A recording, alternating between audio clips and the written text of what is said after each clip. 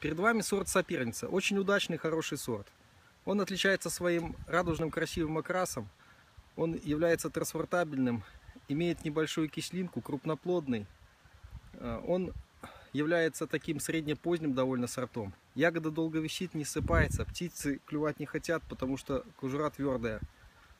Косточка отделяется хорошо. Сорт уникальный, вкусный,